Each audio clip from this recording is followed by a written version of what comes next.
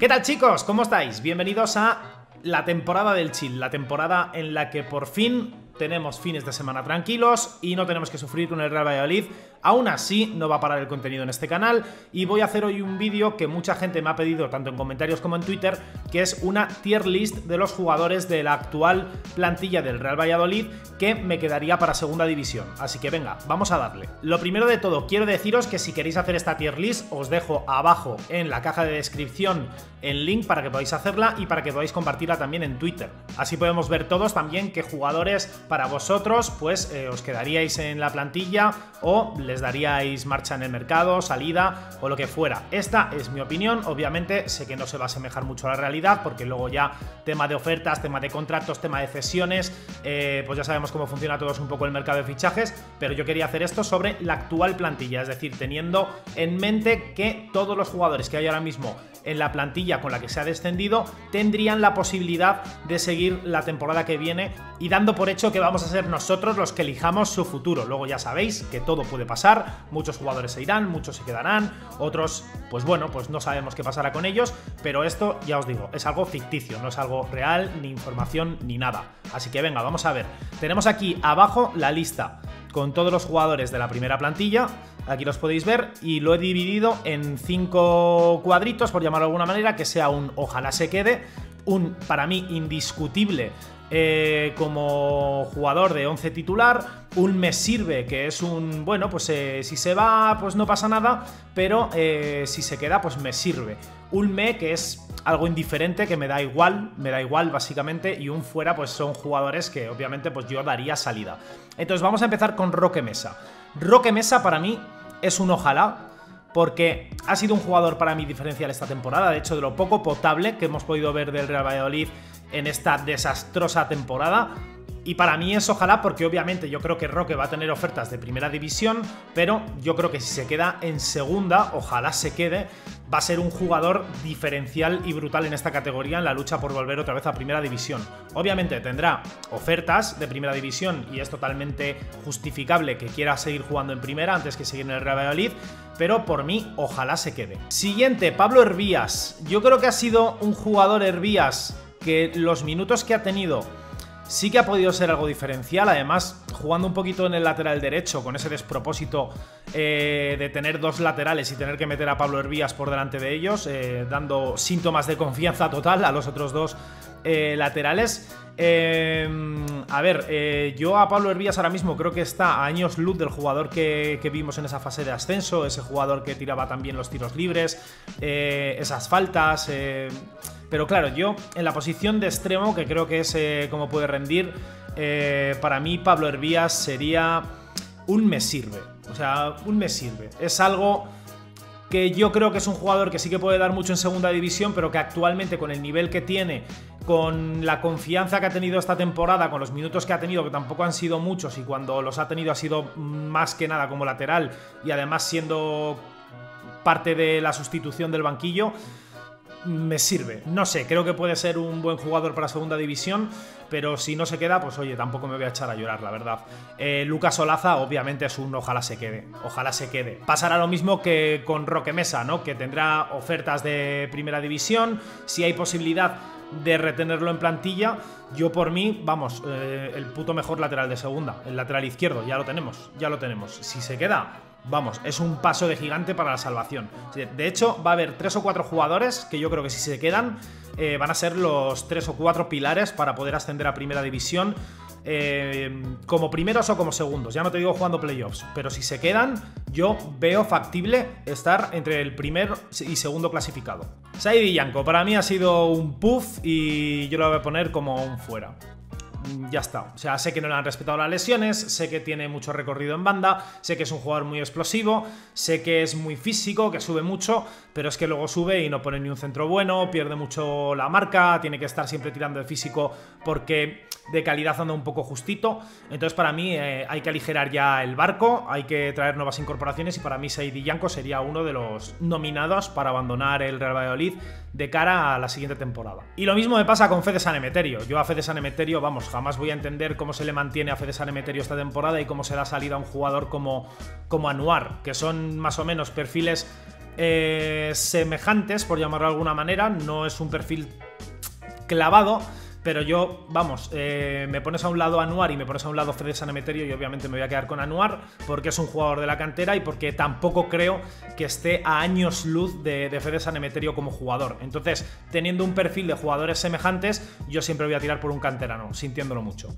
Codro, pues eh, otro que fuera, la verdad. Eh, ni lucharía por retenerlo. O sea, creo que no hay que explicar mucho más.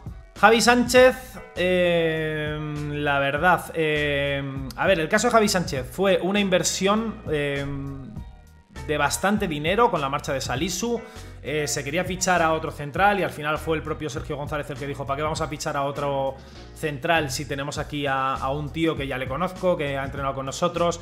y que está actualmente como cedido por el Real Madrid, pero que tiene opción de compra. Vamos a quedarnos con Javi Sánchez. A ver, a nivel inversión yo creo que hay que sacarle fruto a Javi Sánchez, entonces para mí, para segunda división, yo creo que me sirve. Si le respetan las lesiones, es que este tío, pues de 10 días está 7 lesionado, muy a mi pesar, porque me parece muy buen central, pero para segunda me sirve, la verdad. Jota me sirve también, Creo que ha sido un jugador que además en las últimas jornadas, cuando se le ha dado un poco de minutos, ha demostrado que tiene descaro, que tiene desborde, que tiene técnica, que es un jugador que es capaz de hacer cosas muy buenas, pero también capaz de, desaparecer en el partido.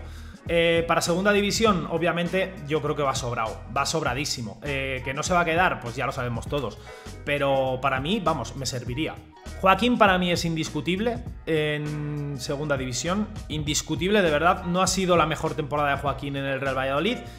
Pero yo tengo ganas de ver a un Joaquín sin lesiones, con otro entrenador y jugando de una santa vez como mediocentro defensivo, que es su lugar, como pivote, un poquito adelantado de la defensa, y no como central, que, madre mía, es que hemos hecho unos experimentos este año del, profesor Bacterio, como dice Arturo Alvarado.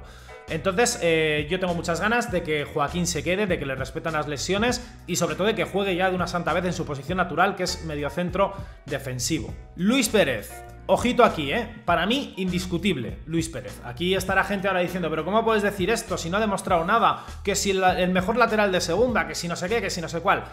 Bueno, yo quiero ver a Luis Pérez, que yo lo vi mucho en el Tenerife, antes de que fichase por el Real Madrid. Yo quiero ver a Luis Pérez en segunda con un entrenador de verdad. A ver, a ver qué pasa. A ver qué pasa, ¿eh? Porque es que igual las versiones que hemos visto de muchos jugadores recién llegados son las versiones a las que nos ha obligado ver Sergio González. Eh, entonces, yo, para mí, Luis Pérez es el lateral derecho titular para el Real Madrid para la temporada que viene. Indiscutible. Y esto me podéis venir ahora a decir lo que queráis, que yo os voy a rebatir, pero vamos, pero hasta la muerte os voy a rebatir esto, ¿eh? Para mí, Luis Pérez, lateral derecho titular para la siguiente temporada. Jawad el Yamik, me sirve. Me sirve. Igual, o sea, yo os digo la verdad, a mí es un central que me gusta, es un central que va bien por alto, es un central que me parece que es seguro, que tiene que pulir muchas cosas obviamente, pero en cuanto a físico me parece que va sobradísimo, sobradísimo y más para segunda división, o sea, vamos a tener en cuenta también que hay muchos jugadores de esta plantilla que fichó el Real Valladolid cuando estaban en segunda división y que ahí ya se ha demostrado que rendían bien. Claro ejemplo es el de Yaguad del Yamik con el Real Zaragoza. Para mí, uno de los mejores centrales que ha tenido en los últimos años el Real Zaragoza, aunque fuese a corto plazo. Pero eh, yo tengo ganas, igual que me pasa con todos, de verle con un entrenador de verdad, un entrenador que sepa potenciar a sus jugadores y no destruirlos y eh, ver cómo rinde. Yo creo que Yaguad del Yamik sirve más que de sobra para este propósito, para volver a Primera División para el Real Valladolid. Quique Pérez. Indiscutible, chico. Indiscutible, ¿eh? Pero indiscutible. O sea, la temporada pasada hicimos el paripé de darle el 8, de darle galones de primer equipo, dorsal que no sea el 20 y pico. Y, para mí, o sea, Quique Pérez, vamos, Quique Pérez y 10 más. Y 10 más esta temporada en el Real Madrid. Em, porque yo creo que es un tío, o sea, que realmente, o sea, ya más allá de todo el sentimiento que tiene del Real Madrid y tal, o sea, me parece eh, un centrocampista que, que, puede ser un escándalo, que puede ser un escándalo, que ahora mismo es muy correcto para segunda división, pero que potenciado otra vez con la figura de un entrenador, de un buen entrenador, que es muy diferente tener entrenador a tener un buen entrenador. Em, para mí, vamos, de los mejores mediocentros que pueda haber en segunda división ahora mismo. Tony Villa, indiscutible, también, en mi puto equipo. O sea, Tony se ha comido este año, yo creo que una de sus peores temporadas en el Real Valladolid. empezó siendo para mí el mejor jugador de la plantilla, acabó desapareciendo, no se sabe cómo, como, como Roberto, acabó desapareciendo también. Eh, sin jugar en todo el 2021 y luego le saca de titular en, partidos que te estás jugando la vida. Que yo creo que lo hacía en plan de, mira, eh, ¿queréis a vuestros jugadores? Pues toman este partido que me estoy jugando la vida. Si no funcionan, ya es culpa vuestra, no es culpa mía. Entonces, eh, para mí, Tony, tío, o sea, vamos a ver, por favor. Por favor, que estamos hablando de Tony Villa, ¿eh? Estamos hablando de Tony Villa, que se nos ha olvidado también un poquito lo que es Tony Villa, eh, debido a esta etapa oscura que hemos estado viviendo un poco. Así que nada, Tony para mí, indiscutible. Roberto, ojalá, ojalá se quedase Roberto. Ojalá se quedase Roberto, de verdad. Eh, no sé si tendrá ofertas o no en lo que vamos a vivir de mercado, pero para mí, ojalá sea el portero titular del Real Madrid en segunda división. De verdad, o sea, porterazo. Tenemos un porterazo en la portería para flipar. Ha habido muchos errores que ha tenido de bulto esta temporada, pero para mí es falta de confianza, porque sale un partido, desaparece 10, eh, vuelve a salir otro, eh, luego empieza a jugar uno cada uno, eh, yo qué sé, de verdad. Eh, a mí, además, la última jornada, en eso que le expulsan, me parece que no se borra. Toda la gente en plan de, madre mía, este es el portero que defendéis. Mira cómo se borra la última jornada sabiendo que tiene que jugar o tal. O sea, está hasta los huevos ya de estar en la grada y salta a la nada ya con, los árbitros y, y por toda la situación que está viviendo, por toda la presión que tiene también por descender a segunda división. Y a mí, la verdad, también se me habría ido la boca. Se me habría ido la boca y me habrían expulsado igual. Y eso no significa pues que me esté borrando. Vamos, a mí, un tío, o sea, que a las pocas jornadas de llegar está diciendo ya que no entiende por qué no es titular, con lo bien que lo ha hecho, no entiende esas decisiones y tal, que digáis que es falta de compromiso, bueno, pues será falta de compromiso con la situación que ve que está viviendo dentro del, vestuario, que se ha demostrado que no era la mejor, pero falta de compromiso con el Real cuando es el primero que está diciendo, coño, estoy bien para jugar, puedo darle más al equipo y quiero jugar para coño, para ayudar un poquito más, pues a mí eso me, parece todo menos falta de compromiso. Así que por mí, Roberto Jiménez, ojalá se quede y ojalá sea el portero para la temporada que viene del Real Valladolid. Marcos André, indiscutible, indiscutible. Nuestro padre, nuestro padre, vamos, ya te lo digo yo, y si no es nuestro padre, es nuestro hermano pequeño, dependiendo de la edad que tengamos. Para mí, uno de los delanteros titulares para la siguiente temporada del Real Valladolid. Es que no hay que decir nada de Marcos André, es indiscutible, ya está. O sea, todo lo que diga se va a quedar corto este tío. Masip, para mí, fuera. Fuera, ya está. Yo creo que hay que cortar ciertos ciclos, hay que cortar ciertos vínculos también con el club y para mí Masip, pues oye, em, te ha podido dar más, te ha podido dar menos, puedes pensar que es mejor o peor portero, pero yo creo que ya hay círculos y ciclos que, que se acaban y para mí Masip es uno de ellos. Son Weisman, ojalá se quede, creo que el público de Zorrilla se merece también la temporada que viene disfrutar de Son en persona. Creo que es un delanterazo como hace muchos años que no vemos en el Real Valladolid, que no se le han dado oportunidades desde el principio, que ha tenido que trabajar mucho también, entre comillas, bueno, trabajar mucho, entrar en el círculo Sergio González, que, tienes que tener pase VIP, ¿no? Es como cuando entrabas a Jaleo o a Bagur, que te comías la cola si no tenías un flyer firmado por un tío que le cayese bien al portero. Pues esto igual, para entrar a ser uno de los titulares tenías que tener un flyer firmado por Sergio González que eh, te hiciese ser, eh, bueno, partícipe de ese grupo que había en el vestuario. Lo mismo le pasó a Roque Mesa, lo mismo le pasó también un poco a Roberto Jiménez a la hora de salir del 11, lo mismo le ha pasado a muchos jugadores que han entrado y han salido de ese círculo de forma inexplicable. Eh, son Weisman, em, recordamos, un tío que para Sergio González eh, tenía que aclimatarse muchísimo en cuanto a nivel cultura, en cuanto a nivel idioma, porque no hablaba tampoco el español, pero luego salía, marcaba tres goles y te callaba la puta boca sin hablar español. No, pues, eh, ¿qué, te voy a decir? Son Weisman, ojalá se quede. Ojalá mm, no se le venda, sé que es muy complicado también a nivel económico que si viene una oferta mayor de lo que has pagado por él, y más dejando de meter tanto dinero como vas a meter tras un descenso. Sé que es muy irresistible hacer eso, pero yo por mí, vamos, eh, Marcos Andrés, son Weisman y, a primera división la temporada que viene. Waldo, mira, eh, el tema de Waldo a mí me parece un me.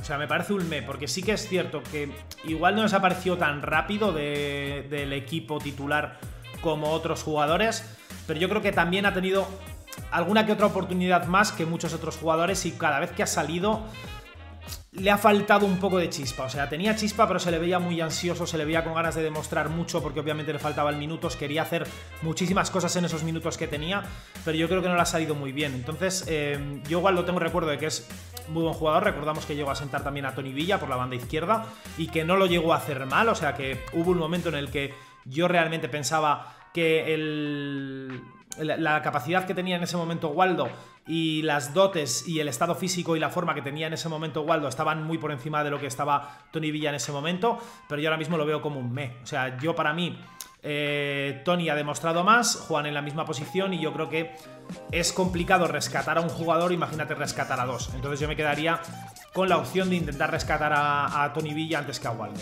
para volver a meterlo otra vez en el equipo.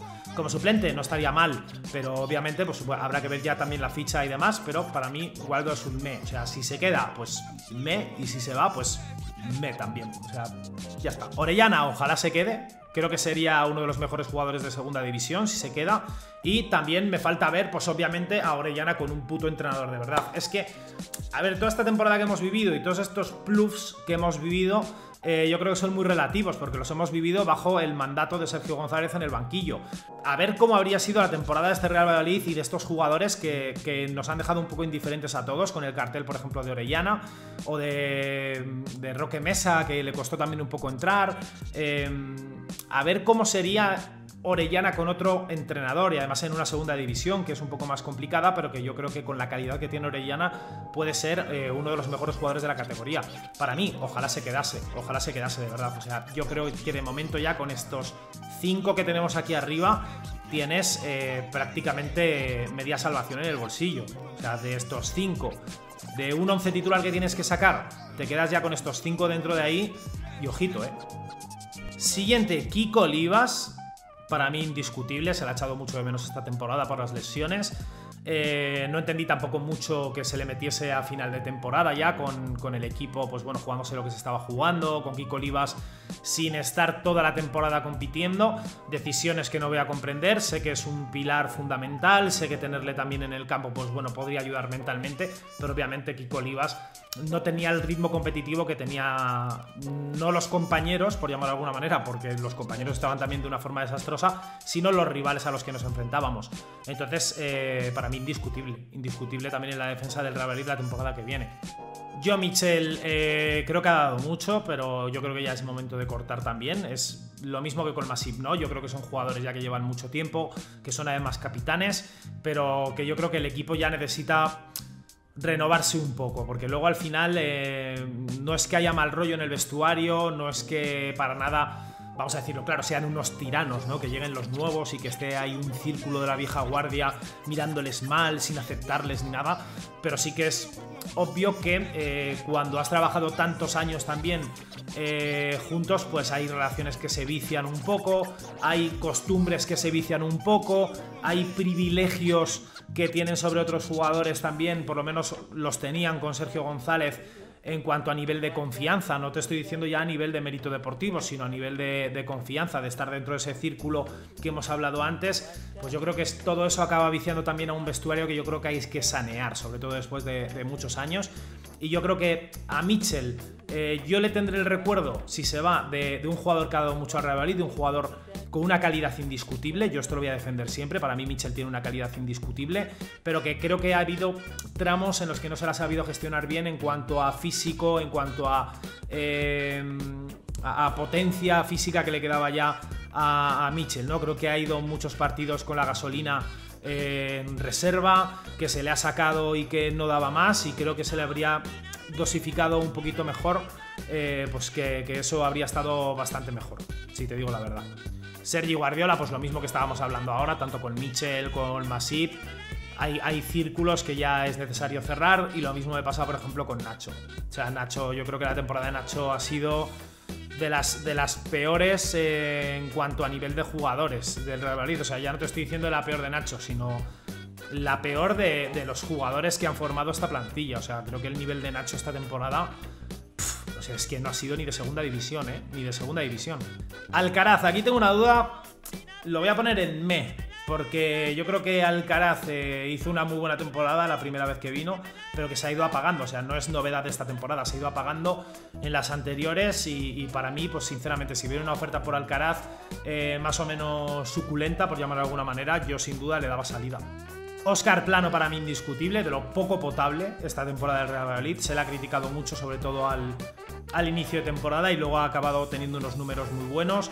Em, creo que se es muy injusto muchas veces con Oscar Plano porque es un jugador que tiende a, hacer muchas coberturas defensivas, a ayudar mucho también, pero yo creo que colocándole un poco más arriba y dándole un poco más de libertad en esa opción de, de media punta o liberándole un poco de opciones defensivas, es un jugador escandaloso, escandaloso para segunda división. Acordaros todavía de del tramo del ascenso del Real Valladolid, que fue uno de los jugadores más determinantes.